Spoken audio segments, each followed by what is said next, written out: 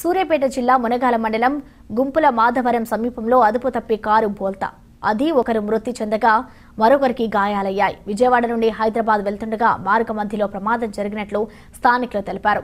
నిజాయితీ చాటుకున్న one not eight సిబ్బంది ఈ ప్రమాదంలో మరణించిన వ్యక్తి కారులో ఎనిమిది లక్షల డెబ్బై నాలుగు వేల నాలుగు వందల రూపాయల నగదు రెండు రింగులు ఒక చైన్ ఒక బ్రాస్లెట్ను వన్ నాట్ ఎయిట్ సిబ్బంది కోదాడ వైద్యులకు అందించి తమ నిజాయితీని చాటుకున్నారు.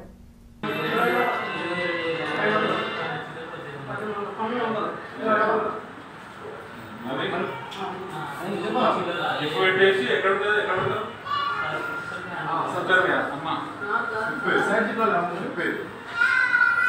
డాక్టర్ మా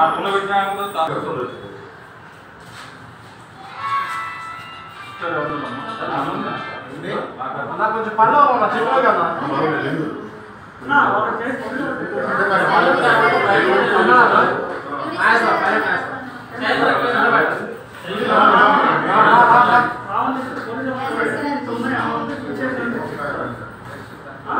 वीडियो मैंने शुरू हो